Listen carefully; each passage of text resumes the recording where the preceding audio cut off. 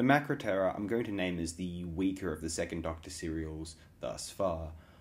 I think it's a bit too formulaic without becoming enough of an interesting, unique entity in and of itself. Obviously, there's a structure here of a you know science fiction plot. The Doctor and the companions visit some place where things just aren't quite right, and then we've got the monster element as well. Now, in execution, it's difficult to judge, obviously, but given these episodes are reconstructions of missing material as it stands, we have the the sci-fi plot, you know, bereft of the Macra, the monsters, is interesting enough. I mean, it is kind of goofy. We get a whole subplot of Ben being brainwashed and all that, and, and it's like, oh wow, I wonder what's going to happen here, you know.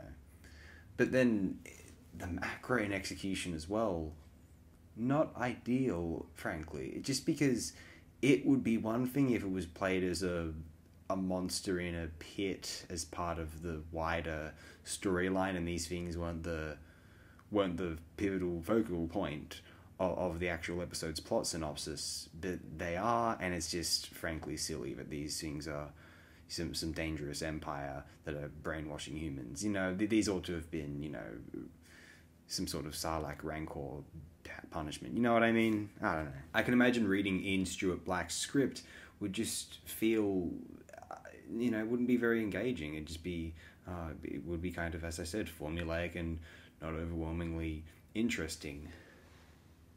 Even though I was um, criticizing the execution just before, it really is the direction of John Davies elevating this into into something. It's unfortunate that the props he was given for the Macra not ideal. Although I mean, he did the best he could with them. Being introduced to the controller for the first time as he gets attacked by the large claw. That's that's a great idea in there. When you kind of watch it in the moment, it's just like whoa whoa whoa, what's that? But you know, in principle, in the abstract, it's a cool image. It's it's it's the one of the more logical things you may as well do with this cereal, a Macra cereal. Imagine imagine like a crab flavored cereal. Jesus.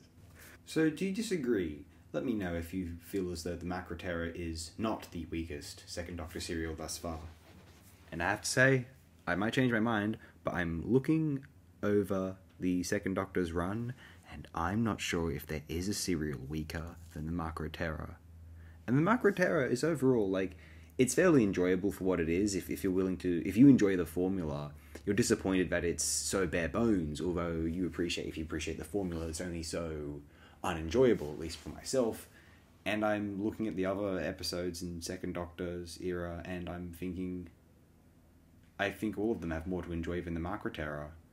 Let me know if you disagree in the comments below. Otherwise, do have the best possible day and night you have ever imagined. Thanks again, my friends. Next time, we'll be exploring the partly available episodes 1 and 3 are, I believe, of a six parter known as The Faceless Ones. A really good serial, I think. Thanks again, my good and dear friends.